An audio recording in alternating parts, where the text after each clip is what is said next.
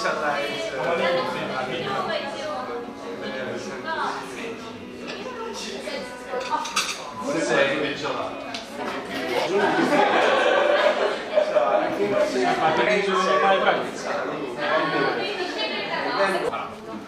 もうこれが何の意味をしてるのかも全然わからな。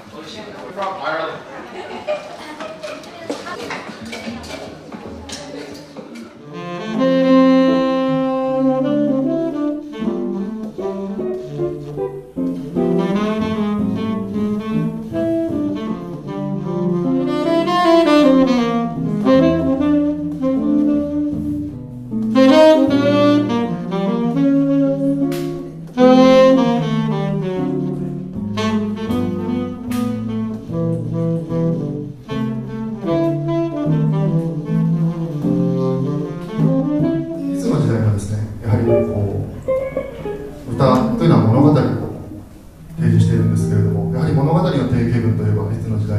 時代も中世から続きます。やはりボーイズボーイミーツガールですね。こう素敵な女性に出会った男の子がこうだったらいいとかまあ妄想ですからね。前もあるんですけれども。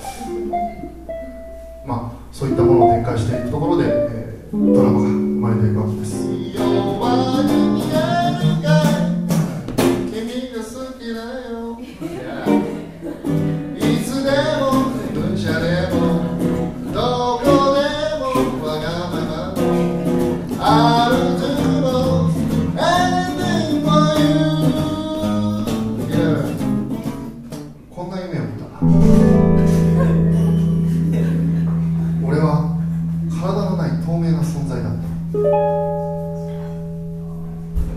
人々の言葉の中の中に影に生きるイメージだ。